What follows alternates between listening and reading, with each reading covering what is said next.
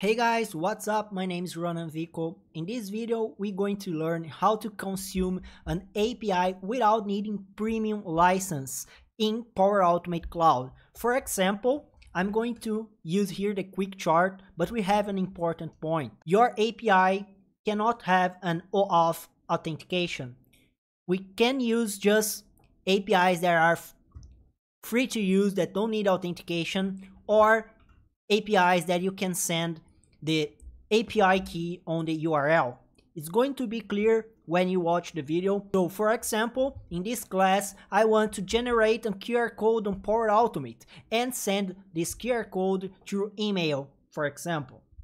For that, I don't need a premium license to consume that API because that API in a specific, we don't need any authentication. So let's go. I'm going to build that flow with you, going directly to the point. I'm going to build an instant cloud flow here to uh, generate QR code and send through manual trigger flow. And for example, let's say that I want to insert here an input and that input is going to be a website. After that, I want to generate a QR code from this website and send through email. So the next step here is to use the OneDrive connector. So let's check the OneDrive connector. We're going to go here from upload file from URL. So here is the magic that we're going to use. We're going to upload a file in the OneDrive with an URL. So for this video, I'm going to get a QR code like that. So how to use this QR code just to make it more, more simple for you to understand. If I insert here my Instagram, Instagram, that you can follow if you want you're going to see that generates an QR code. So I'm going to upload a file into the OneDrive using that URL. In that example, I'm using QR code, but the quick chart have uh, other graphs that you can build with the API. And you can use that to consume other APIs with data. So I just access um, page here that shows some free APIs to test.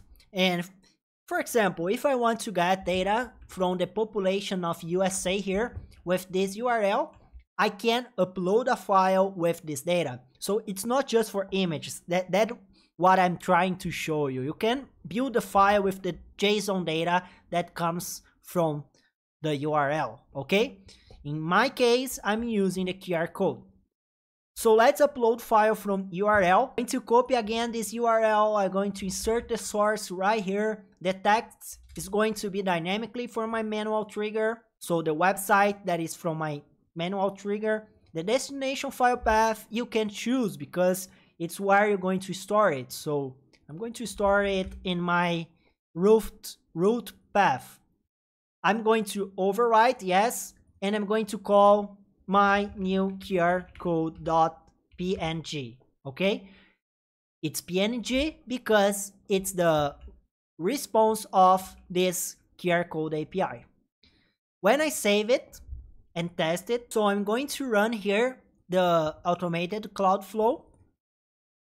My website going to be okay? And when it runs we can see here on my OneDrive my QR code right here. When I open it, ta-da, my QR code is ready.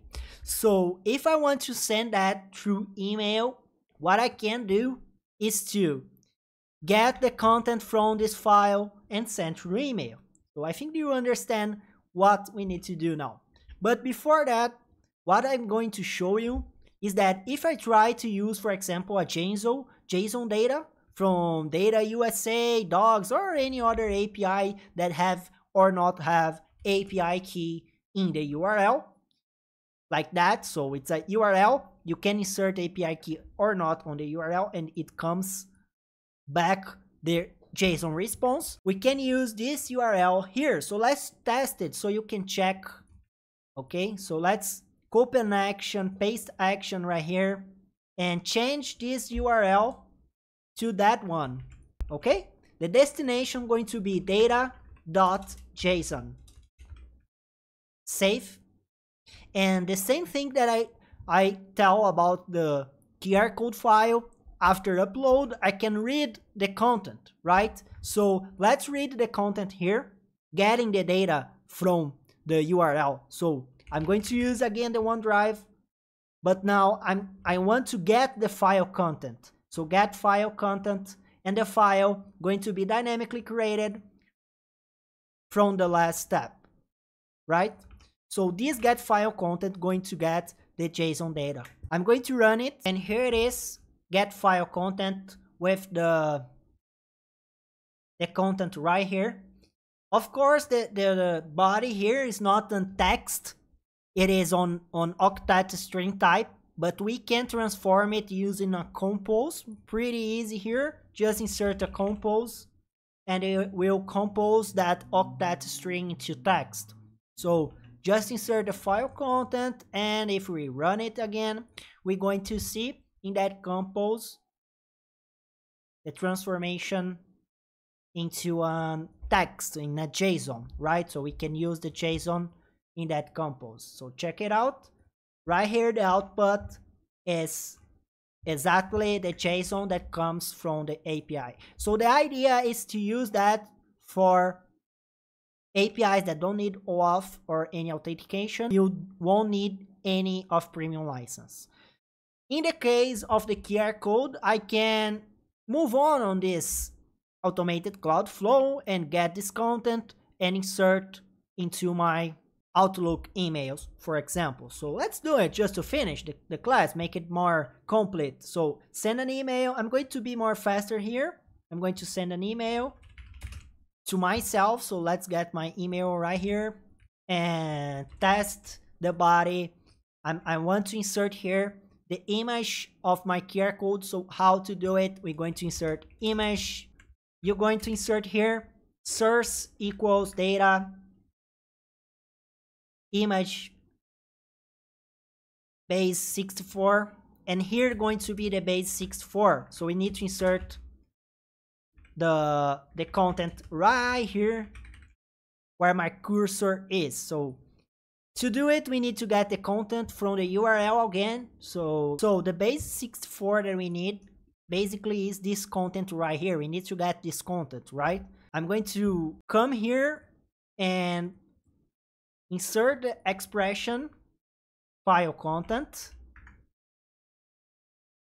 content add just to make sure that it is, that is an HTML I'm going to cut click here okay on the toggle code code view and paste it again just to make sure that it, that it works.